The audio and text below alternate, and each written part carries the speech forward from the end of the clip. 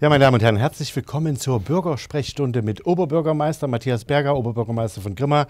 Hallo Matthias Berger, schön, dass Sie wieder Zeit haben dafür. Gerne. Es ist ja inzwischen eine wunderbare Tradition, zu aktuellen Fragen der Bürger hier Stellung zu nehmen durch den OBM. Und die Zuschauer haben ja immer die Möglichkeiten, hier auch Fragen schon an uns zu schicken. Das tun sie auch. Hier vielleicht schon mal noch die Adresse nochmal zur Erinnerung: bürgerdialog.muldental.de. TV.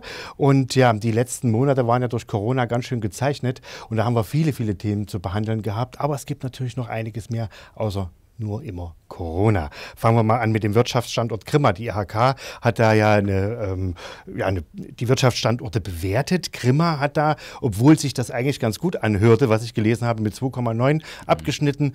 Woran liegt's?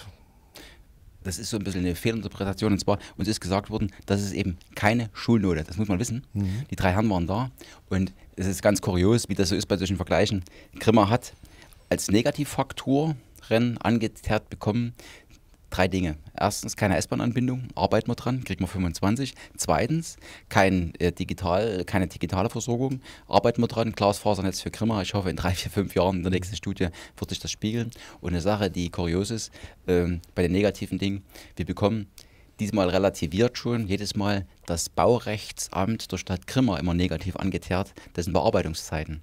Und da ist ja so, das Baurechtsamt gehört ja nicht zur Stadt, sondern gehört zum Landkreis. Mhm. Äh, das muss ich schon mal sagen. Und da muss ich aber auch sagen, insgesamt ist das Baurechtsamt, hat dort auch gerade personelle Veränderungen. Das hat sich auch beim Landkreis verbessert. Insofern darf man das nicht ganz so ernst nehmen. Positiv, einmal mehr, freut mich, sind zwei Dinge bewertet worden. Das war eigentlich immer unsere Stärke. Und zwar hat die, die Wirtschaft, und das waren, glaube ich, 60 Rückläufer. Es durch 60 Befragungen gehabt mhm. oder, und 50 Rückläufer. Also ist schon nicht hundertprozentig wissenschaftlich repräsentativ, aber es hat eine gewisse Repräsentativität. Und da ist es so, dass man dort die Zusammenarbeit zwischen der Wirtschaft und der Stadtverwaltung, die Erreichbarkeit der Verwaltung als sehr positiv gesehen hat. Mhm. Und den Freizeitwert der Stadt. Also insofern, das spiegelt schon unsere Stärken und Schwächen. Und die Schwächen die drei genannten, da arbeiten wir eigentlich dran und das Ganze ist eben keine Schulnote. Natürlich ist es so, die Orte, die eben eine S-Bahn-Anbindung haben, sind für die Wirtschaft momentan interessanter, aber ich denke, das läuft und spätestens, wenn wir den S-Bahn-Anschluss haben, Gewerbegebiet läuft, äh, werden wir noch mal einen ganzen Sprung danach vorn machen. Mhm. Und die anderen Dinge arbeiten wir natürlich dran. Übrigens auch die, Be die Bearbeitungszeiten der Anträge in der Stadtverwaltung, das ist als sehr positiv und kurzfristig eingeschätzt worden, hängt aber damit zusammen, dass man jetzt getrennt hat, wahrscheinlich zwischen Baurechtsamt und Stadtverwaltung und da sind wir dann wesentlich besser weggekommen. Mhm. Naja, das ist ja schon mal gut. Ja, man muss dann schon mal ein bisschen genauer hingucken ja, bei, solchen, bei solchen Analysen. Kommen wir, wir waren gerade beim Bauen. Ähm, der Bahnhof in Grimma, der obere Bahnhof, ist ja noch nicht gerade ein besonderes äh, mhm. Objekt, was wir im Moment, so wie es mhm. im Moment aussieht. Da hat man ja einiges vor. Was soll da passieren? Ja, den Bahnhof, der es ist ja ein Spekulationsobjekt gewesen. Aus meiner Sicht ist es auch ein politischer Skandal gewesen, dass die Bahn vor in diesem, noch in diesem Zeitalter der Privatisierung, Privatisierungswahn, hat man ja die ganze Bahn verkauft. Und da hat man in, Sack, in Deutschland, glaube ich, weiß nicht, 1000 Bahnhöfe an einen internationalen Fonds verkauft, der wahrscheinlich auf dem Cayman Island saß, damit er keine Verantwortung hat und nur Cash macht. Und wir haben es dann geschafft vor ein paar Jahren, dass quasi diesen Investoren aus den Händen zu reißen und haben durch ein paar Glücksumstände für kleines Geld den Bahnhof kaufen können. Das Problem ist ja, dass Wurzeln ist ja analog, die Städte alle versuchen, die Bahnhöfe zu entwickeln und immer wenn sie eine Idee haben, kommt der Eigentümer und sagt, aha, du willst was machen, dann kaufen wir den mal teuer ab. Und das Problem haben wir kommen sehen, deswegen haben wir es eben andersrum gemacht, erst gekauft und dann haben wir das ausgeschrieben, hatten insgesamt sagen wir, sechs Interessenten, drei davon würde ich als sehr ernsthaft einschätzen. Und da haben wir Folgendes gemacht in den Ausschreibungen, das war uns allen sehr wichtig. Da wollen wir eben nicht irgendeinen Spinner, der jetzt versucht in den nächsten fünf Jahren, ich werde das schon entwickeln und mal sehen, das fällt hier alles aus. Sondern wir haben reingeschrieben, dass der Investor in den nächsten drei Jahren, ich glaube, 950.000 Euro investieren muss. Mhm. Wenn er das nicht macht, muss er eine Vertragsstrafe zahlen von 300.000 Euro. Jetzt könnte man sagen, das ist eine GmbH, der meldet die dann ab. Auch das geht nicht, sondern diese 300.000 Euro Vertragsstrafe die sind abgesichert mit einer Bürgschaft einer großen Deutschbank. Das hört sich, äh, großen, ja doch, deutschen Großbank. Und das hört sich sehr juristisch, formalistisch an, aber das bedeutet, er, wird es, er hätte den Bahnhof nicht gekauft, wenn er es denn nicht ernst meinen würde, weil sein Risiko ist hoch. Also wenn der Mann in den nächsten drei Jahren dort nur 900.000 Euro oder 899.000 Euro vielleicht einbaut, um noch ein bisschen spannend zu machen, dann könnten wir sagen, zurück, dann kriegen wir das Gebäude mit Investment 899.000 plus nochmal ein paar hunderttausend Euro Vertragsstrafe. Und, und das Ganze abgesichert mit einer Bürgschaft einer Großbank, die wir dann ziehen können. Also das, garantiert noch nicht, aber aus meiner Sicht beweist das schon, dass dort die Investoren das sehr, sehr ernst meinen. Wir haben auch versucht, da Interessenten zuzuführen. Da gibt es ganz, ganz viele Gespräche. Das läuft soweit. Die Investorengruppe ist auch interessant oder sehr seriös und ich hoffe, das entwickelt sich in den nächsten zwei, drei Jahren analog zur S-Bahn-Anbindung, analog zum Busbahnhof. Da sind wir überall dran. Analog zu der Fläche vom Finanzamt. Also das ganze Ensemble, denke ich, wird in den nächsten drei, vier Jahren eine massive Aufwertung erfahren. Mhm. Ja, das hört sich ja schon mal positiv an. Äh, es ist äh, in der Stadt natürlich passiert ja auch noch einiges. Die Frage ist zum Beispiel immer das ganze Thema Altimarkt, Weberstraße. Wie geht es da weiter? Wann wird der Altimarkt nun mal endlich eröffnen? Äh, weil vom Standort her ist das natürlich sehr gut. Damit verbunden, wann wird die Weberstraße zweistellig mhm. und die Einbindung in die Leipziger Straße? Wie geht es da voran? Ja gut, es liegen die voll im Plan. Letzter Stand, Telefonat letzte Woche war, ich glaube, Eröffnung November. Da gibt es eigentlich nichts mehr dran zu rütteln. Wie beim letzten Mal schon gesagt, wir sind auch jetzt oder beziehungsweise haben vermittelt ein Gespräch zwischen einem Interessenten, der an der Langstraße die ganze vordere Front übernehmen würde, mit einem sehr interessanten Angebot. Und wenn das alles gelänge, hätten wir dann, das war ja das Ziel, mit dem Aldi-Markt, gemeinsam mit dem, der da vielleicht von reingeht, ein sehr hochwertiges, ein, kleines Einkaufszentrum, auch in dem Bereich der Innenstadt. Also ich denke, der obere Bereich der Langstraße hat eine gute Chance, jetzt auch mal richtig nach vorne zu kommen. Mhm. Und wir haben ja, der Gewinn ist ja schon der Ronny Kaufmann am Leipziger Platz, kann man bloß positiv sehen, Brautmoden, das sind kleine Frequenzbringer, gerade Ronny Kaufmann ist ja da sensationell. Und die Weberstraße, die Sie ansprachen, die wird natürlich mit der Eröffnung vom Aldi-Markt dann entsprechend geöffnet, auch für den Begegnungsverkehr. Aldi hat zwei Bedingungen gestellt. Erstens Weberstraße, Begegnungsverkehr, haben wir, dem sind wir nachgekommen, verstehen wir auch. Und das Zweite, es wird, das werden die Grimmer sehen, äh, ganz interessante Informationssäulen in Grimma geben, richtig modern. Und da ist dann das Aldi-Logo drauf. Auch das war eine Bedingung vom Aldi, dass wir dem gestatten mussten. Moderne Hinweisschilder, die aber multifunktional genutzt werden, also mit Grimma-Karte, mit Hinweisschildern allgemein. Also es gibt ein richtiges Informationssystem, aber einige von diesen Tafeln darf eben Aldi exklusiv nutzen. Das war auch eine Bedingung, die wir erfüllen mussten. Ich erinnere daran, wenn wir das nicht getan hätten, Aldi wäre raus ins PEP gegangen und hätte ja im Prinzip unten diesen Innenstadtstandort verlassen. Und das galt zu verhindern. Bin ich heilfroh, dass das gelungen ist. Mhm. Ja, das, äh, das, das, das denke ich auch. Ähm, in letzter Zeit äh, haben wir ja wieder verstärkt äh, mit Vandalismusschäden hier in der Stadt mhm. zu kämpfen. Es ist schlimm, aber mhm. es ist leider so, dass sowas immer passiert, bis hin, dass eine Toilette gesprengt wird in, der, in der Stadt auf dem Volkshausplatz. Haltestellen werden zerstört. Ähm, die ordnungsgemäße Müllentsorgung ist an vielen Stellen nicht, nicht mehr richtig möglich. Ähm, wie kann die Stadt hier besser vorgehen oder was tut die Stadt dafür, dagegen? Ja, ist, vielen Dank an die Leute. Es gibt durchaus noch sowas wie Zivilcourage, gerade in dem Fall mit den gesprengten Toiletten. Da war ein junges Ehepaar bei mir. Wir haben dort im Prinzip jetzt ähm, Kennzeichen bekommen, auch Beschreibungen. Ähm, es ist natürlich, darunter leiden wir ja alle, schwierig in dem Rechtsstaat, der dann eben ganz langsam arbeitet, solche Dinge immer dann zu propagieren ich würde auch gerne die Leute öffentlich auspeitschen lassen, so wie in Singapur, aber leider geht das mhm. nicht. Ähm, wir müssen damit leben, dass wir hier dass bei uns die Mühlen etwas langsamer malen als vielleicht in anderen Ländern. Ich kann bloß alle bitten, dass wir werden es nicht in den Griff kriegen, wenn nicht mehr Zivilcourage gezeigt wird. In dem Fall hat es funktioniert. Ich hoffe, wir kriegen die Täter und können die auch so dann im Prinzip hier äh, die Konsequenzen entsprechend mit denen ziehen. Aber bitte wäre, sprecht die Leute an, geht hin. Ich, ich mache es auch, klar, als Bürgermeister ist man da besonders verpflichtet. Aber dieses Wegschauen und dann hinterher mhm. kommen nach drei Wochen, ich habe alles schon gehabt, die, die kommen dann zu mir drei Wochen später und sagen, ne, da waren Leute, die haben die Tür kaputt gemacht, warum, warum reparierten die ihr die nicht? Ich sage, warum, warum haben sie mich nicht angerufen, als das passierte? Naja, ich wollte mich da nicht einmengen, aber dann rummeckern, wenn es vom Bauhof nicht repariert wird. So geht es nicht. Ich denke, wir sind hier alle gefragt. Zivilcourage ist die Lösung. Äh, Verhältnisse wie in China, dass die Leute öffentlich ausgepeitscht werden, werden wir in naher Zukunft hier nicht kriegen. Mhm. So ist es wohl, ja. ja. Kommen wir mal zu einem äh, Bauwerk, äh, was auch in die Zukunft gerichtet ist. Da habe ich gelesen, äh, eine Bauzeit von schlappen 50 Monaten, die veranschlagt sind. Die Rede ist von der Autobahnbrücke über die A14. So, also das ist ja, klingt ja unglaublich viel. Wie ist da der aktuelle Stand äh, zu dem Thema? Da soll ja auch entsprechend äh, also, die Bauunterlagen in der Stadt auch ausgelegt werden. Weiß ich, wie weit da der Stand das, ist. Das Ding haben wir jetzt bekommen, das liegt okay. jetzt demnächst aus. Äh, dazu vielleicht, da kann man jetzt stundenlang philosophieren. Ähm, die Brücke ist, glaube ich, 72 gebaut worden. Und ich kenne den Herrn Wolf, das ist der Oberbauleiter damals gewesen, der war 27 Jahre alt und hat, glaube ich, mit 70 Leuten das Ding in zwei Jahren hochgezogen. Jetzt planen wir schon 15 Jahre oder eigentlich mit 150 Leuten. Das ist leider so. Äh, das muss ja, jeder muss ja irgendeinen Senf dazu geben. Ob die Brücke gebaut wird in den nächsten Jahren, ich kann es nicht abschätzen. Hängt sich auch davon ab, was jetzt für Einsprüche kommen. Mhm. Ähm, ich will mal was Positives und was Negatives dazu sagen. Wenn die Brücke gebaut wird, hatten wir große Angst, dass es zu Einschränkungen kommt. Das wird nicht der Fall sein. Die Brücke wird so gebaut, und das ist schon toll, da sind wir, denke ich, technisch einen Schritt weiter als vor 50 Jahren. Es wird quasi eine Umgehungsbrücke gebaut, so absurd das klingt. Also das heißt, es werden im Prinzip Brückenteile neben die Brücke gebaut. Also unmittelbar an der gleichen unmittelbar. Stelle. Ah, okay. Beziehungsweise die Brücke wird, glaube ich, im Altbestand belassen.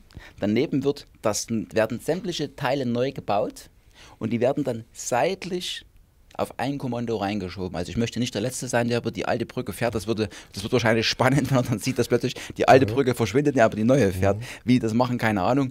Ähm, das heißt, es dürften sich keinerlei Einschränkungen für Grimma daraus ergeben, zumindest auf der Autobahn. Mhm. Natürlich die ganzen Verbindungen nach Nerschau, die Radwege, die werden gewisse Einschränkungen erfahren in diesen 50 Monaten, wenn die denn gehalten werden. Ich hoffe das. Mhm. Ähm, was für uns, gerade für die Nerschauer, aber auch für die hier Nordgrimmer problematisch ist, ist natürlich der Lärmschutz. Äh, der Schall breitet sich dort entlang im Muldental aus. Und wir haben ja den Lärmschutz gefordert und da ist eben immer gesagt worden, Moment, das ist kein Neubau, deswegen gelten die alten Lärmschutzparameter, es ist ein Ersatzneubau. Wir haben immer gefordert, erstens Sechsspurigkeit, zweitens Anerkennung, dass es eine neue Brücke ist und damit Lärmschutz für alle. Und das wird einfach rigoros abgelehnt. Ich habe da mich überall hingewandt, überall hingeschrieben, aber das war immer, ja, wir werden es prüfen. Und zum Schluss bleibt es wahrscheinlich bei einer Vierspurigkeit. Ich vermute mal die Vierspurigkeit schon deshalb, dass man eben nicht sagt Neubau und damit die neuen Parameter aufruft. Man muss natürlich ehrlicherweise auch sagen, wer will diesen Lärmschutz kennt, physikalisch. Es ist so, selbst wenn die links und rechts eine Mauer setzen würden, die Entlastung ist eigentlich in der Regel bloß für die, die unmittelbar dahinter wohnen. Ich sage jetzt 100, 200, 300 mhm. Meter.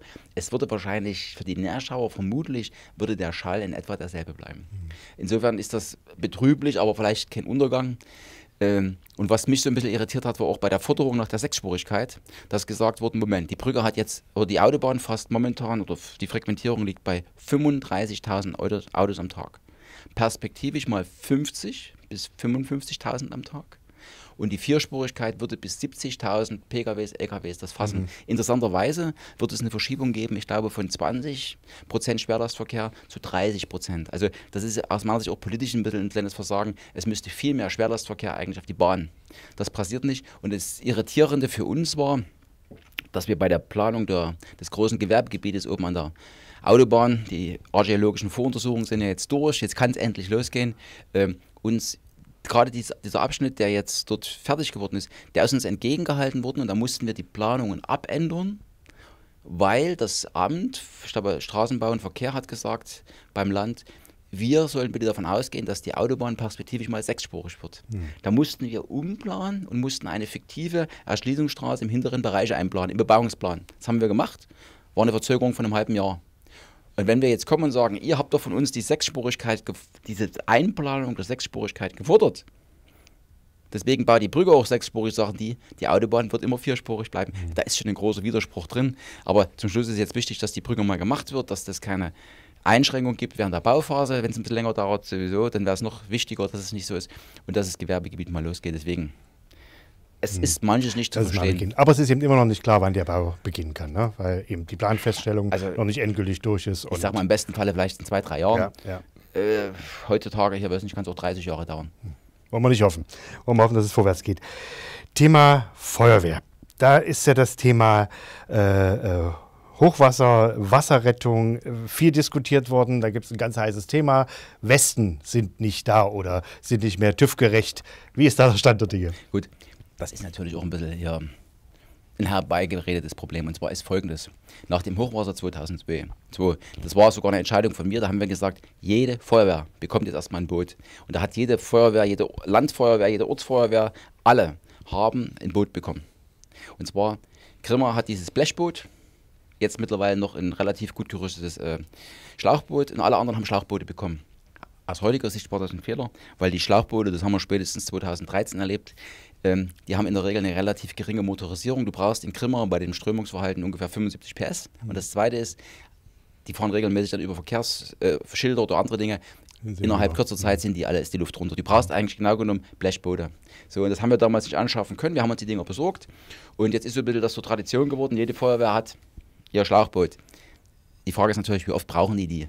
Ja, aber die lieben natürlich einmal, was die haben, die Kameraden, das geben die ungern wieder weg. Und die Besonderheit ist hier, dass die normalen Westen, die wir alle kennen, so mit Styropor, die haben eigentlich genügend Auftrieb.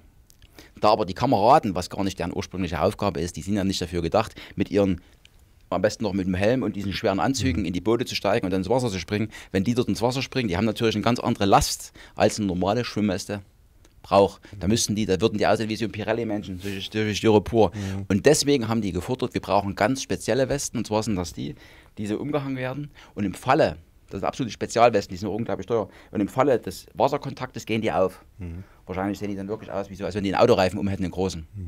Also, und diese Westen, die waren ja einsatzfähig, sondern da war bloß der TÜV abgelaufen. Ja. Die hätten genauso gut funktioniert. Und die Feuerwehr Grimmer hat dann gesagt, um keine Verantwortung zu übernehmen, wir melden uns jetzt hier ab. Alle anderen Feuerwehren übrigens, die haben eine ähnliche Ausrüstung, die haben das nicht gemacht. Warum Grimmer da so aus meiner Sicht so ein bisschen überhetzt reagiert hat, war nicht notwendig. Das war so ein bisschen Formalismus, um mal zu sagen, hier, wir wollen jetzt unsere neuen Westen haben. Und ich denke, da gibt es noch ein paar Dinge zu klären, aber im Großen und Ganzen funktioniert das schon. Ich würde es nicht überbewerten. Das mhm. war so. Mhm. Der nächste Punkt, der hört sich sehr äh, touristisch an und äh, sehr abenteuerlich. Sea World Fremdes Walde ist das, das Stichwort, so wurde es zumindest äh, betitelt. Ähm, für Grimma wurden ja Fördermittel bewilligt für die Renaturierung der Launzige und des Mühlteichs. Äh, und ähm, irgendwie mit dem Projekt gibt es so ein bisschen ein paar abstrakte ja. Züge, die das annimmt. Ähm, wie soll es da eigentlich weitergehen? Dem Thema. Es ist eigentlich der Dauerbrenner, diese ganze Fördermittel. Diskussion. Industrie, muss ich sagen. es ist einfach, es nervt nur noch. Sie müssen sich das vorstellen, wenn Sie heutzutage ein großes Projekt machen. Wir kennen doch alle dieses Kinderspiel, nimmst ein leeres Blatt und der eine malt die Füße drauf, der nächste ist Knie und so malen wir alle weiter. Und so entstehen in Deutschland mittlerweile die Projekte. Da malt jeder von diesen wesentlich Beteiligten malt dann mal ein Stück drauf dann wird, und dann machen wir das Ganze auf und gucken, was hier rauskommt. Und genauso ist es hier. Im Prinzip ist es, ging es darum, ganz profan, da sollte ein Dorfteich entschlemmt werden. Das kennen wir alle. Eine Durfteichentschlemmung. Also Früher hat man Durfteiche, mhm. wissen Sie, was da gemacht wurde? Da wurde Wasser rausgelassen. Mhm. Die wurden in der Regel am Rand zusammengeschoben, weil es dann eintrocknet. Ja. Dann ließ man das im Winter liegen. Hat am nächsten, Im nächsten Jahr hat man dann Hafer angepflanzt. Dann wurde irgendwann Wasser reingelassen und die Karpfen. Und das war eine normale Schlemmung. Manchmal hat man das Zeug auch rausgenommen.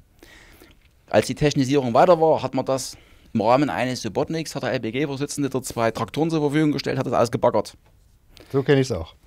Als die Wende kam, ich habe das dem, bei dem Dorfteich, habe ich dann hinterfragt, da haben mir dann die ortsansässigen Bauern gesagt, die haben mal nach der Wende für 23.000 D-Mark damals das an dem Wochenende ausgebaggert.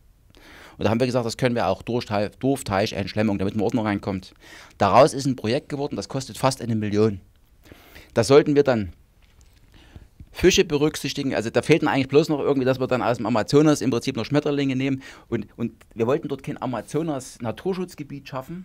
Wir wollten auch kein Donaudelta, wir wollten eine Dorfteichentschlemmung. Und das Ding, äh, im, im, Englischen sagt man, if the turkey doesn't fly, make him bigger. Das ist genauso eine Sache. Du wirst im Prinzip, du musst das bloß genug, groß genug aufblasen, dann quatschen alle rein. Und am meisten hat mich dann geärgert, dass die Regierungspräsidentin dann, Regierungspräsidentin freut sich, Hochwasserschutzprojekt Grimma geht los. Ich sage Ihnen folgendes, den Bescheid hatten wir noch gar nicht, als sie das verkündet hat, das mhm. erste. Wir waren noch mit dem Gespräch. Zweitens war die genannte Summe in der Zeitung falsch. Und, das, und drittens haben wir den Bescheid gleich zweimal gekriegt. Wahrscheinlich war die Freude so groß. Ähm, und das, das nervt einfach. Hier werden aus meiner Sicht Fördermittel für sinnlose Dinge verbrannt. Und da habe ich dann gesagt, das fällt ja aus. Wir wollen eine Dorfteichentschlemmung und kein Amazonas-Delta in fremdes Walde. Du musst ja auch die ganzen Unterhaltskosten später mal sehen. Und das ist leider so. Das, hier entwickeln sich Dinge, die keiner mehr auffängt. Formal gesehen haben die alle recht, aber es ist ärgerlich und ich denke, wir haben alle die Pflicht, ab und zu mal Dinge auf ihre Sinnhaftigkeit zu hinterfragen. Und das war so eine Sache, wo ich dachte, plem, plem. Ich muss es wirklich so sagen. Mhm. Mittlerweile haben wir auch miteinander gesprochen und die waren nicht da, die sind, waren ganz aufgeregt. Die Regierungspräsidentin hat mich angerufen, ja, ich, also, es wird immer, das, ist so, das sind so Parolen. Alle freuen sich hier, die sollten mal lieber reinschauen, die sollten mal vor Ort prüfen, ob das ob unser aller Geld sinnvoll eingesetzt mhm. ist. Und das Schlimme ist ja, dieser Schlamm, den man früher auf die Felder gefahren hat und der als wertvoll betrachtet wurde als Naturstoff, der ist ja mittlerweile Z2-Stoff. Das wird ja behandelt, da kommen ja Leute mittlerweile mit Vollschutz und Atemmaske und bringen das dann wahrscheinlich in die Müllverbrennungsdeponie und produzieren wahrscheinlich noch jede Menge CO2. Und diesem ganzen Unsinn muss mal Einhalt geboten werden. Und hier geht es nicht, sag ich mal, um die Sache, wo unser Leben dran hängt. Deswegen habe ich gesagt, alles vorbei, jetzt halten wir mal hier dagegen, hier müssen wir ein paar Leute munter gemacht werden. Mich hat das einfach geärgert, dass der ganze Hintergrund. Ich denke, wir werden trotzdem was tun. Aber einfach, es war mal Zeit, wieder mal der Bürokratie hier Den Finger zu zeigen. Den ja. berühmten Genau. zu zeigen. Ja, ja, richtig, richtig. Ja, kann ich, kann ich, kann ich nachvollziehen. Um weitere bauliche Änderungen geht es zum Beispiel auch bei dem Thema, da haben auch, auch Zuschauer gefragt, Eisenbahnbrücke bzw. Eisenbahntunnel äh, über die Husarenstraße. Ähm, wie, wie ist dann... Ist genauso ein Krampf. Äh, da ist es so, also ich prognostiziere mal folgendes: Grimma bekommt ja für 2025 den S-Bahn-Anschluss. Ich bin mir ziemlich sicher, dass genau dann, wenn die Einweihung war, drei Tage später, die ganze Strecke lahmgelegt wird, weil dann fünf Jahre lang an der Brücke gebaut wird. Die Brücke sollte 2020 gebaut werden. Dort sollte, das war alles mit der Stadt abgestimmt, wir hätten uns auch finanziell beteiligt, ich glaube 5,50 Meter breit, sollte dort im Prinzip eine Fahrbahn entstehen mit einem großen Radfußweg auf der einen Seite und auf der anderen Seite ein Fußweg. Und zwar auf der westlichen Seite Radfußweg, damit die Leute, wenn sie ins PEP gehen, dort durchfahren können mit dem Fahrrad. Das ist nämlich nicht ungefährlich, weil die alle hinten heimlich über die Gleisanlagen rennen. Oder nicht alle, aber viele. Ich halte das für hochgefährlich. Deswegen haben wir Druck gemacht. Letztens kam so eine Truppe bei mir vorbei und haben mitgeteilt, ja, wir müssen noch was klären. Wahrscheinlich 2025. Meine fünf Jahre sind ja hier nichts mehr in dem Land. Für uns schon. Das ist schon ärgerlich. Und und dann hieß es als Begründung, man muss jetzt den Denkmalschutz fragen, wahrscheinlich ist die Brücke denkmalschutzrelevant. Und da hat man allen Ernstes dann diskutiert, ob man nicht neben die Brücke stehen lässt, weil Denkmalschutz, und daneben eine große Brücke baut, oder Entschuldigung, einen Tunnel, also genau genommen einen Tunnel, den historischen Tunnel lässt und daneben einen anderen Tunnel. Beziehungsweise wahrscheinlich geht man schon so weit, dass man den Tunnel im Tunnel baut. Und das ist doch absurd. Das Ding ist 100 Jahre alt, das ist Schrott. Punkt. Das, da gibt es doch mit Denkmalschutz nicht. Wir müssen uns als Gesellschaft mal überle langsam überlegen, was wollen wir eigentlich? Wollen wir wie vor 500 Jahren leben? Wollen wir mit Wasserstoff hantieren. Aber mittlerweile wollen hier alle alles Ja. und das werden wir irgendwie nicht hinkriegen. Das tut mir leid. Es werden dort keine Dinosaurier oben durchlaufen, sondern wir müssen mal ganz klar sagen, wir wollen dort Verkehr und Rentner durchführen. Und das ist auch so eine Sache, und das hat mich auch ein bisschen ärgerlich gemacht. Deswegen habe ich gesagt, wenn der Denkmalschutz hier nur zuckt, da gibt es mal richtig Ärger. Man kann das gar nicht öffentlich genug machen. Jeder quatscht hier rein. Das ist wieder die Sache mit dem Kinderspiel. Jeder schreibt dort was rein und da kommt wahrscheinlich noch der nächste Verband, der will dann Kanarienvögel an der Wand haben. Das geht nicht. Das geht einfach nicht. Wir müssen mal ein paar Dinge jetzt infrastrukturell auf den Weg bringen. Wenn wir so weitermachen, dann stehen wir uns gegenseitig nur noch im Weg. Ja, ja, ganz klar. Ähm, ja, aber es gibt was Neues. Die neue Rettungswache in Ragewitz, die soll jetzt äh, in, den, in den Betrieb oder zumindest erstmal in den Probebetrieb gehen. Ähm, das ist sicherlich ein Vorteil für unsere, für die Region, für die ländliche Region. Da gibt es ja auch eine Information demnächst. Können Sie dazu was sagen, so die, Genau, die- Rettungswache? Äh, wir haben es übrigens gerade gesehen, vor wenigen Minuten ist erst ein großer Brand gelöscht worden. In, draußen in Pröse, es hat, haben fünf Hektar gebrannt. Äh, das Thema, sag ich mal, Rettungsfeuerwehr ist ja eine Riesenkiste. Und seit wir die neue Rettungsleitstelle haben, ist ja nicht unbedingt alles besser geworden bei uns, sondern der Deckungsgrad ist viel geringer geworden. Und wir müssen jetzt reagieren, und der Landkreis, das macht er auch, denke ich, da recht professionell. Und wir haben das Glück, eigentlich die ganze Region, ehemals Tümlitzwalde und drumherum 10 Kilometer. Wir bekommen in die ehemalige Feuerwehr nach Ragewitz. Der Umbau hat fast schon begonnen. Vielen Dank auch an die Kameraden, Ortschaftsrat, die helfen damit. Ähm, in diese ehemalige Feuerwehr kommt eine Rettungswache. Dort kommt quasi ein Sankra hin, oder ein, ein, ein also Rettungswagen, RTW, Neudeutsch, da kommt ein RTW hin und dort stationiert es dann quasi ein Rettungssanitäter und ein, ist ein normaler Sanitäter, die dann im Bedarfsfalle von dort aus ausrücken in die Region. Wahrscheinlich wird dann über Hubschrauber oder wie das ist, äh, anders Mitteln, werden dann die Ärzte zugeführt, sodass wir eine wesentliche Verbesserung in der ganzen Region haben. Weil wir hatten ja teilweise Fälle, dass Leute eine Dreiviertelstunde auf die Krankenwagen gewartet haben. Ich erhoffe mir eigentlich für die ganze Region, also den, den östlichen Teil von Grimmers Land, Region, eine erhebliche Besserstellung. Also wir haben dann dort unsere eigene Rettungswache. Der Umbau beginnt. Das Ganze soll spätestens offiziell am 1.1. nächsten Jahres ans Netz gehen. Da gibt es auch am 14. Juli eine Informationsveranstaltung, 18.30 Uhr im Rahmen der Genau. Ortschaftsratssitzung. Da wird darüber informiert. Der Ort ist die Feuerwehr in Ragewitz. Also wer da was wissen will Genau, und sich Die informiert. Ragewitz, der Weitschen kommt mal hin, das ist sicher interessant. Ich denke, die Definitiv. Leute freuen sich, dass das passiert. Ne? Ja, genau.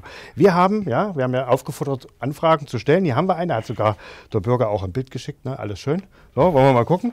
Was ist hier momentan äh, gemacht worden, beziehungsweise was soll hier Neues entstehen? Es geht um den Bereich neben dem Stadion der Freundschaft, die Ruinenlandschaft, die wir da im Moment haben. Was gibt es da Ähm, für die Zukunft zu erwarten? Das kann man mit einem lachenden, weinenden Auge sehen. Ich freue mich einerseits, dass jetzt ein Investor das Ganze gekauft hat und dort versucht aufzuräumen. So würde ich es mal interpretieren. ja. Ich weiß auch, wer das ist, aber ich kann es nur nicht sagen, aus Datenschutzgründen. Ähm, ich denke, das ist auch Unternehmen, die sind da durchaus in der Lage. Ähm, wir selbst als Stadt, wir hatten einen Interessenten, der das Ganze kaufen wollte.